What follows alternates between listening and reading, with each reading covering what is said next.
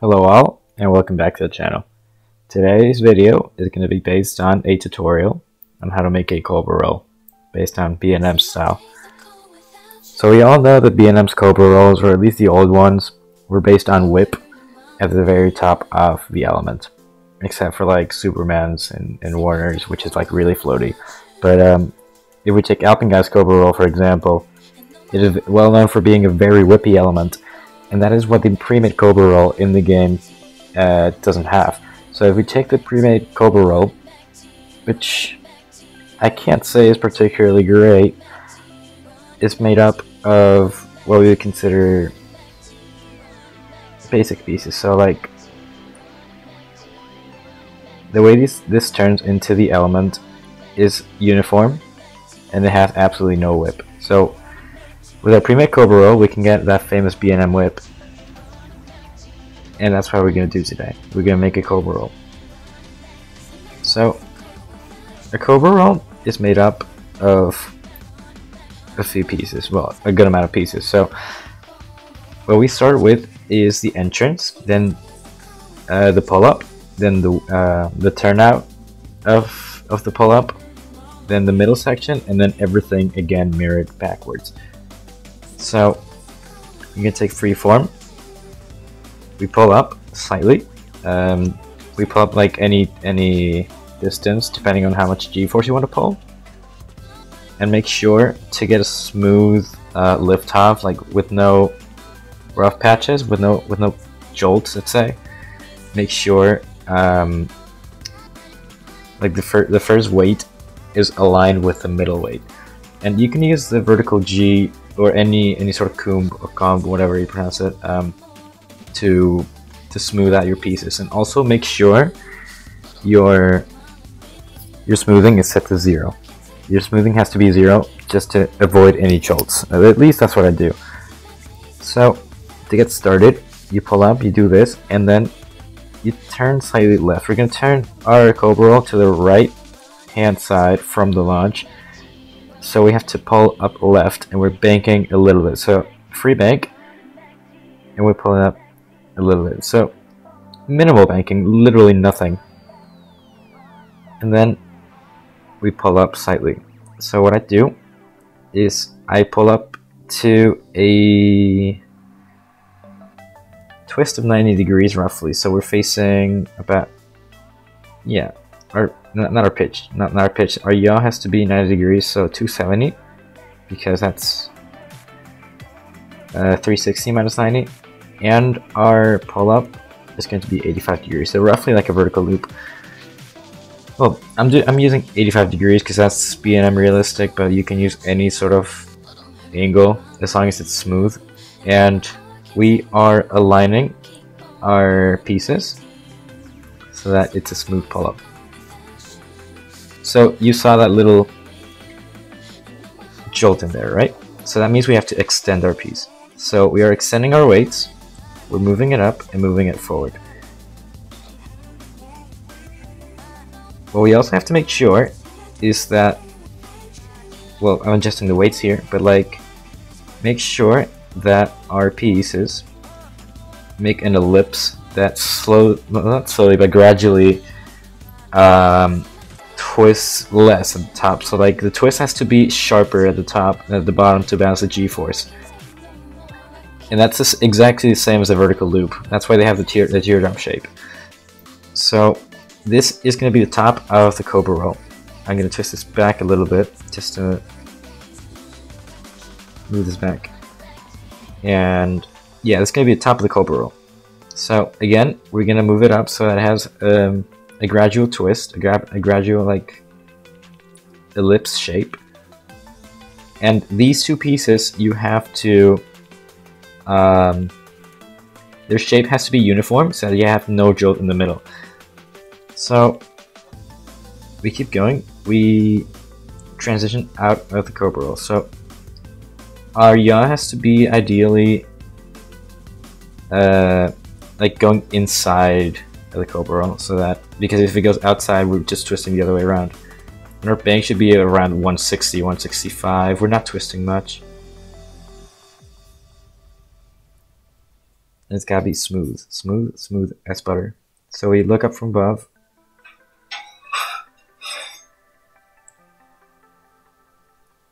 And remember also to bank your segments. So your segments to be banked so you get no lateral oh G's.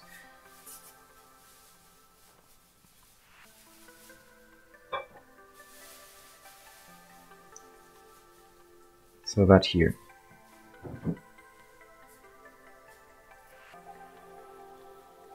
And then this is the interesting part. You're twisting out of the Cobra roll. So the Cobra roll uh, has a well-known whip, at least on B&Ms. I'm gonna reduce the, the launch speed to about 80. And over here, this is where you're gonna whip.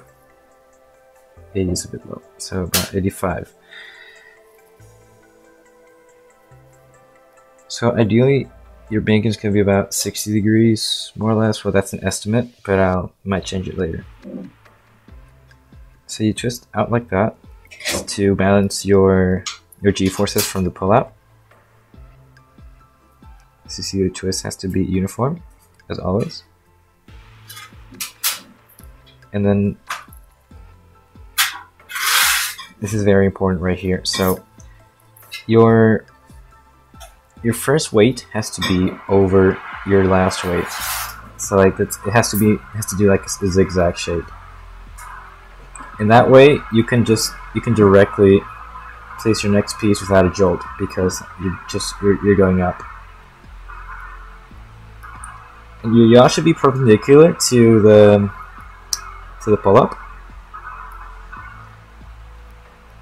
And your pitch should be zero because this is the apex, let's say of the Cobra. And your middle banking should be, well, you can adjust it manually there. As well as the pullout. So the pullout, you can make it more stretched out like that.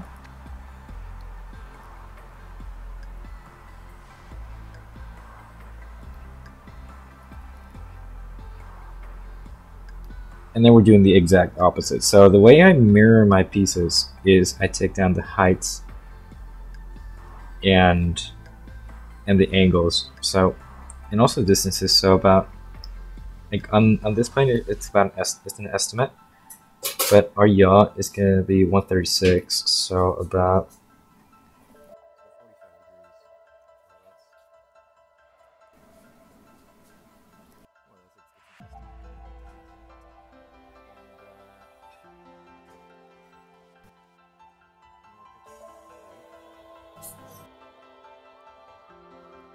Be it.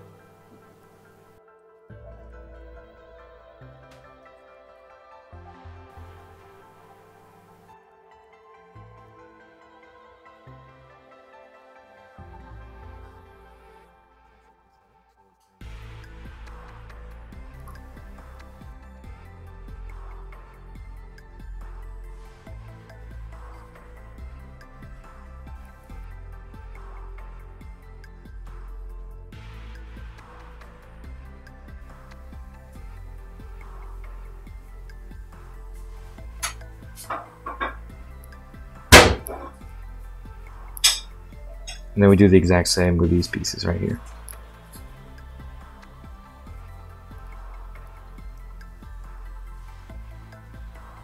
So we move back down. It's about 11 degrees and 200 degrees banking. So that's about 160 as I said before. You're facing inwards this time. About our height? So our height is about 28.2 meters, so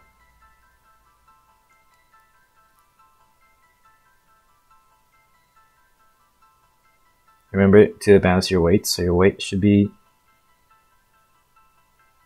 higher at the top than the bottom so that you don't get a jolt coming into the Cobra roll. So I messed up slightly here. It's going to readjust this like you can adjust this to your own liking, but um, yeah, it just depends on your liking. But like this is just the basic overview of how to shape up a cobra roll, and the pullout is is, is just the exact same.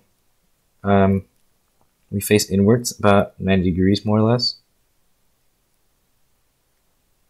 And uh, you go 85 degrees. You adjust your weights, and yeah, your pullout should be there sh shortly.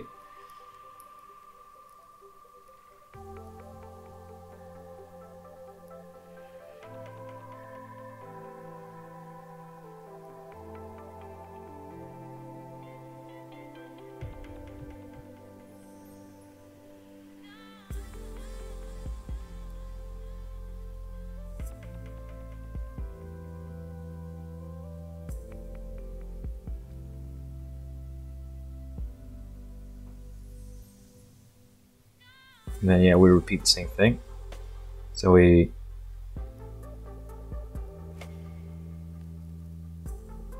we keep going. About 185, that's good. And a little bit of banking on this side.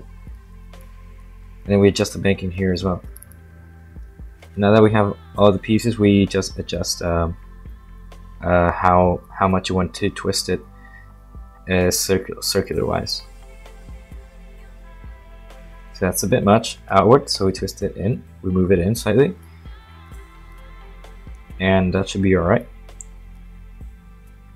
The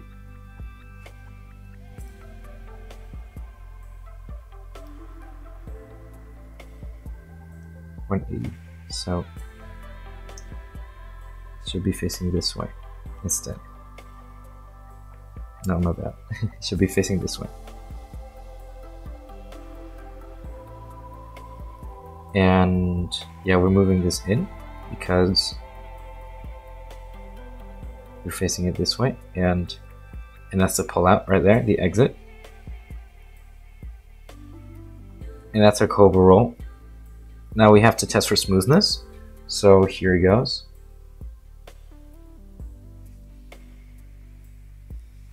So you can tell there's a it's a little bit rough around the, ed the edges. So uh, we just readjust it around here. So we are putting this slightly outward so that it's it looks more round, and we bank this a little bit more.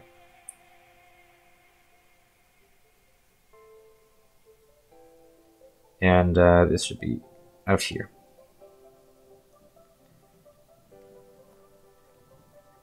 And then yeah, it's adjusting this thing here as well. So it's making it round and uniform. So it's a little it's a little bit of adjusting here. Like it takes a little while.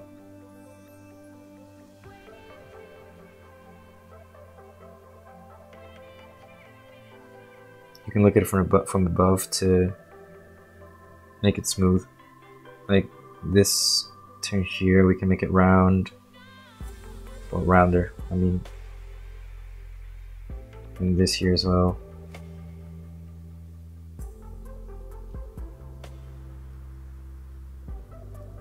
Like that's looking a lot better now. Wait, never mind.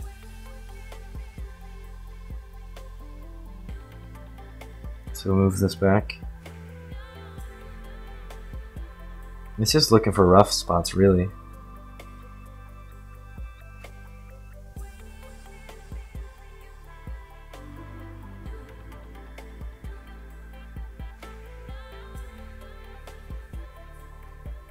It's underbanked, so we gotta bake this a little bit more. Or just uh, move it in, inwards, this way.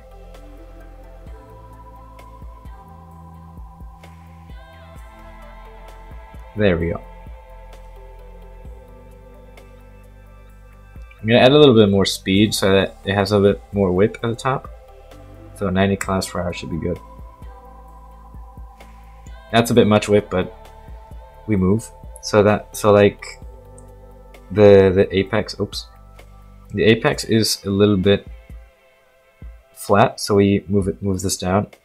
And then this here is just adjusting the the the pieces so you get rid of that of that little spot jank in the middle.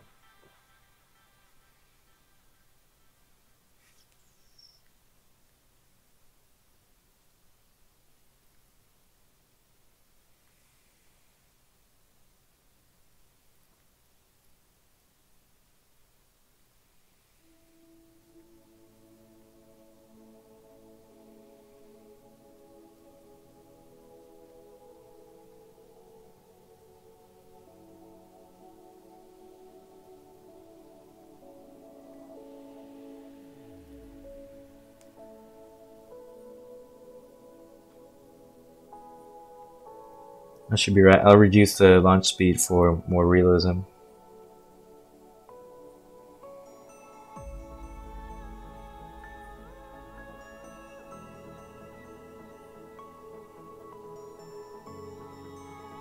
and then it's just adjusting that banking right here.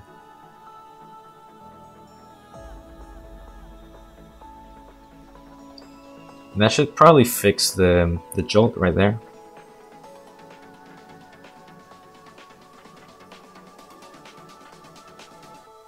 And that's the basic idea for a Cobra like, after all, it's just adjusting it the way you want that that's how that's the way I make the Cobra rolls, and like I can take like hours adjusting the jolts to get rid of them. But like if if we if we turn up the smoothness, for example, like 0.75 is what I use for my videos. Like the jolts are basically non-existent. And that's it for this tutorial. I hope you enjoyed. I'll see you in the next one, and uh, subscribe for more.